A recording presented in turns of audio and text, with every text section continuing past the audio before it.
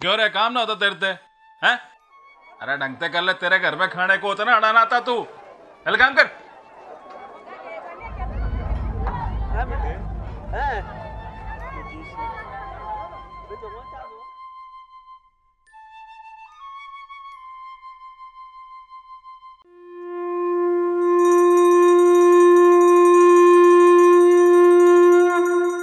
मेरे को तकरीबन दस साल यहाँ पे रहते हुए हो गए। प्रॉब्लम आई है रहने सोने के लिए सबसे बड़ी प्रॉब्लम जो है यहाँ तो एक पुलिस की है दूसरी एमसीडी की है सुबह से गाड़ी चलाते हैं तनख्वाह तक नहीं मिलती बताओ गरीबों का खून चूसने वाली बात This is Delhi, a sprawling metropolis, a land of opportunities. Fueled by dreams, lakhs of people migrate here. Estimated figures say that almost 2 lakh to 3 lakh people in a year come to settle here permanently as migrants from other Indian states. They come in search of work and for a better life. But they don't know what exactly is in store for them the hurdles in getting a roof over their head, the bone breaking works in getting two square meals, and the hardships in getting healthcare when in need simply shatter their dreams. In busy by lanes of Jama Masjid or Meena Bazar, you may find scores of people facing an uphill task to earn their livelihood, and it has been going on for years.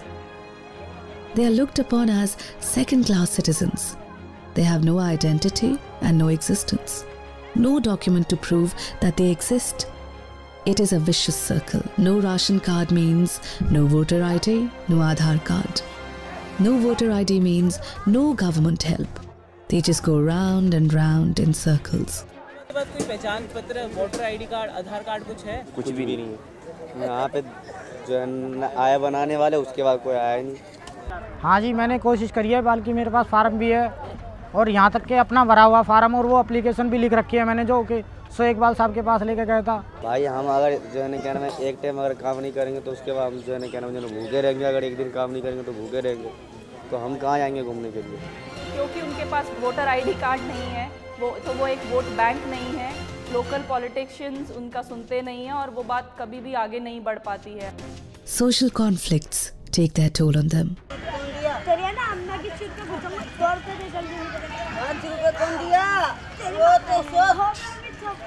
They get involved in street fights over drinking water, over sanitation.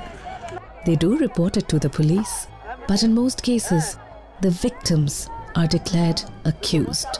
Without any identity, their cries go in vain. They can't even live like human beings.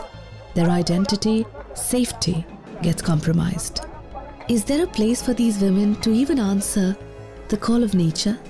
Public facilities are there, but they are in shambles, utterly unhygienic, with broken walls and roofs.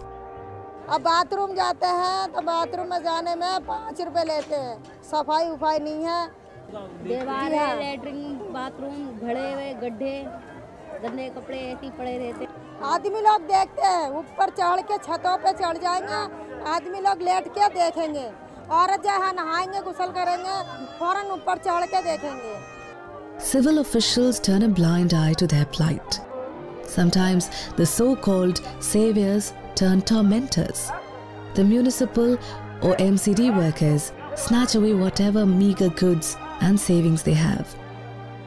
At times, the police burn down their shacks, destroy their huts. अब ये कभी यहाँ रहता हूँ कभी कोई भगा देता कभी पुलिस वाला भगाता कहाँ जाता हूँ कभी पुलिस वाला कपड़ा जला देता है कभी कमेटी उठा के ले जाता है यही परेशानी होता है छोटी छोटी बच्चे लेके रहता हूँ इतनी परेशान थे कम से कम चालीस पचास हज़ार रुपए का सामान हमारा जला दिया था पुलिस वाला Many of them suffer from life threatening diseases. Malnutrition, cholera, and TB are rampant. But there are no good hospitals in their neighborhood. No government agency supports their healthcare needs. और साहब मैं विकलांग हो गया बिजली ने मुझे पकड़ लिया साहब मेरे पैर हाथ बेकार हो गए सर सर मुझे कोई मदद नहीं मिली मेरा सफ़ेद कार्ड तक नहीं बना ऊपी में साहब अब मैं यहाँ हजाम तो काम करता हूँ साहब हाथ मेरे हैं बेकार और अमूमन यही होता है कि लोग उस बीमारी से दम तोड़ देते हैं। और सरकार उनके बारे में कोई भी आ, कदम नहीं उठाती है जिसकी वजह से कई बार होता है कि उनके लाशों को लवारिसों में उठा लिया जाता है। एक बहुत बड़ी समस्या है इस एरिया की अ, जो कि छोटे उम्र से ही बच्चों में शुरू हो जाती है। आठ दस साल के बच्चों से लेके बड़े उम्र के बच्चों तक नशा नशे की समस्या जो वाइटनर फ्लूड होता है ज़्यादातर वो उसको सूंघ के नशे की और भी है एक दूसरे में मतलब शेयर करते हैं। सिगरेट बहुत एक कॉमन चीज़ है। हर सिगरेट की दुकान पे लिखा तो होता है कि 18 से कम की उम्र के नहीं पी सकते लेकिन धड़ल्ले से बिकती भी है। हम कहते हैं कि भारत का भविष्य हमारे ये बच्चे हैं जब बच्चे ही उस नशे की लत के अंदर हो जाएँगे और खोखले हो जाएँगे तो भारत का भविष्य कहाँ से बनेगा? These problems are not unique to Delhi. All other metros face the same problems. ये नहाने के लिए दिक्कत है सोने के लिए दिक्कत है। पटरी पर सोता हूँ। यहाँ पे बहुत सारे चोर आते हैं। कभी कभी हमारा कोई सामान लेके आता है किसी का चोरी का। कोई कभी कभी हमारा चोरी हो जाता है। तो हम उसे पकड़ लेते हैं तो सारे कहते हैं ब्लेड मार देंगे वो। ब्लेड मारने की धमकी भी वमकी देते हैं। सिक्योरिटी का ना होना एक बहुत बड़ी प्रॉब्लम है। आज भी उद्योग बिहार के उन मजदूरों को सिक्योरिटी नहीं मिलती है, जो अपनी तनख्वाह लेकर सुनसान इलाके जैसे कि सन्नी मंदिर जैसे इलाके हैं, उनसे आते हैं तो उनकी पगार, जो बैठे हैं वहाँ पे गुंडे, उनसे छीन लेते हैं।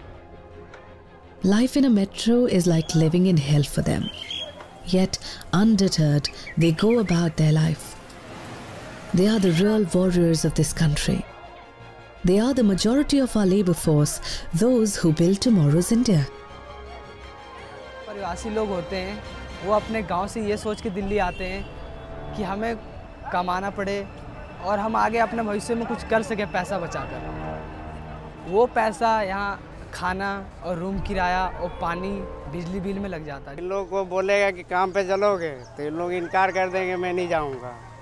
तो इन लोग क्या करेगा? डंडा से मार मार के कभी एक उधर भागेगा तो एक उधर भागेगा एक उधर भागेगा। हर मालिक सोचता है गरीब गरीबी रहे कि अमीर बन जाएगा फिर गरीब को कौन पूछेगा? तो वो उतनी ही सैलरी देता है जितना बंदा कि मतलब कमा सके या मतलब वही है बस उसकी किराए पे और क्या कहते हैं, राशन में उतना ही बीत जाता है। सब मुश्किल से मुश्किल कोई बंदा हज़ार से बचा पाए। वही अगर बीमार हो जाए रास्ते में या कोई बात हो जाए तो वो भी बचता नहीं है बंदा। कहने का मतलब ये है कि गरीब तो हमेशा गरीब ही रहेगा। क्यों? मतलब महँगाई इतनी है।